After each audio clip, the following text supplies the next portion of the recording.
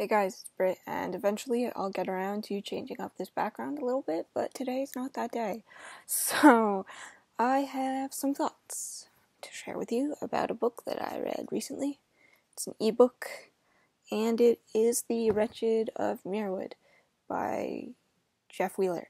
Uh, Jeff Wheeler is in the Kindle Daily Deals almost every single month, uh, which is what inspired me to initially pick up uh, The Wretched of Muirwood because it was like a dollar ninety nine, and I wanted to get more into indie authors, and the premise sounded appealing to me. So basically, uh, The Wretched of Muirwood, the premise is this young girl named Lia gets assigned to guard this badly wounded man and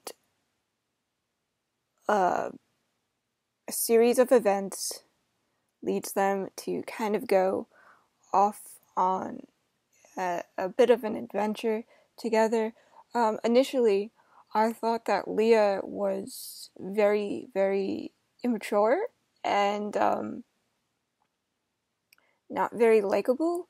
And until I went back and read uh, a little bit before initially doing this review, just as a refresher for basic plot points, uh, I realized that, that Lia is not the typical age of a YA protagonist. She's actually 13 years old, which um, which would explain a lot of her immature actions. Not that 13 year olds can't be mature, because this girl is certainly very wise beyond her years.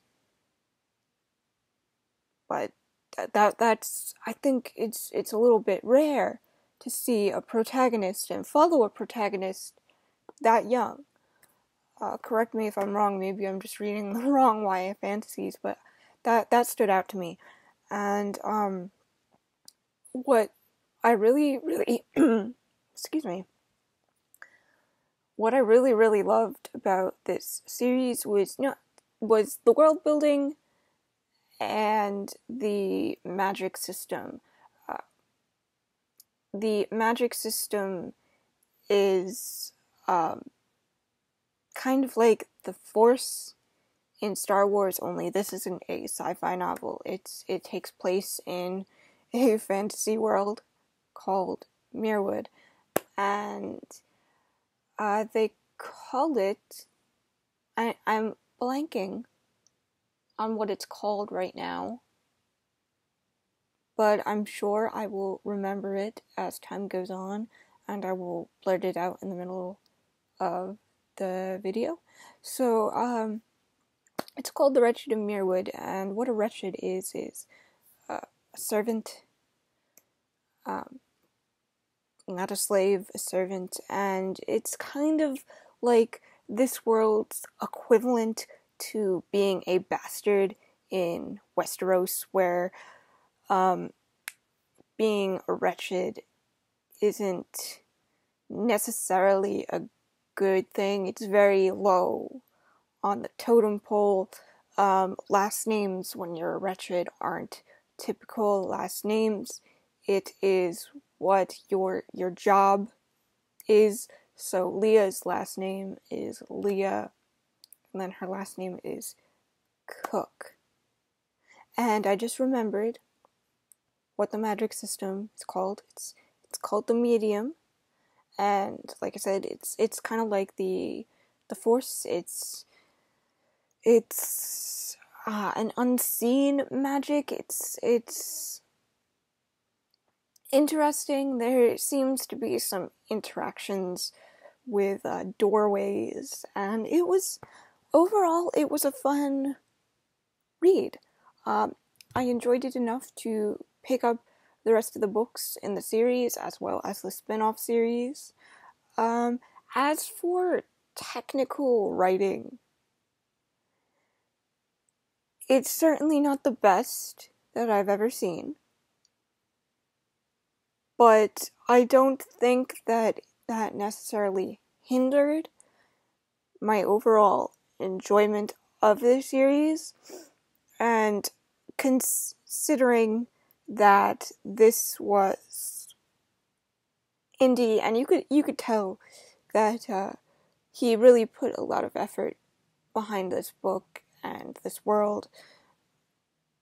It, it was it was very good.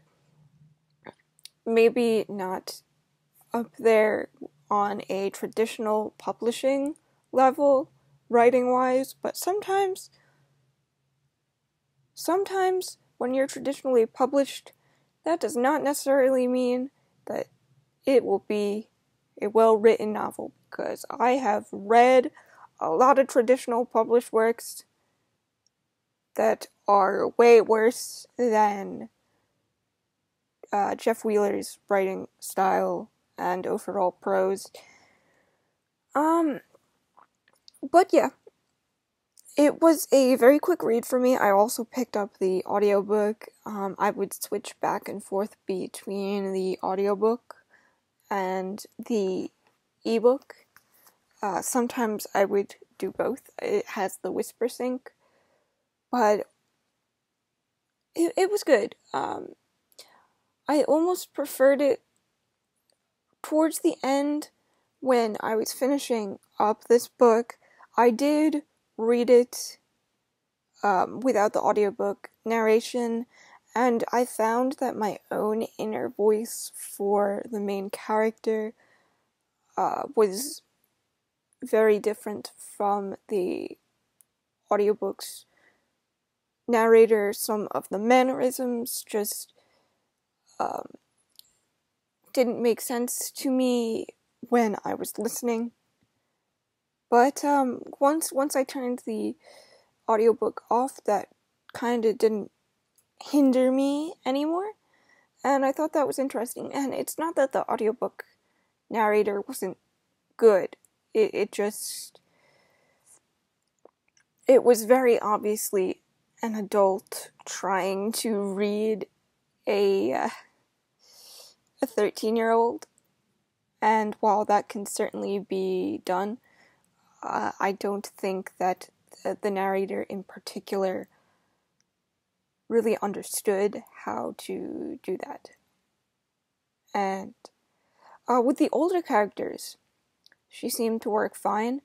Um, the the narrator personally read Lia as a more um, her interpretation was a lot more angry, while I read Lia a lot of Lia's inner monologue as well as her dialogue as more of a quick-witted, snappy type of person, not necessarily excuse me, not necessarily angry But yeah, those are my thoughts. And uh, until next time, guys, I love you, and I'll see you in the next video.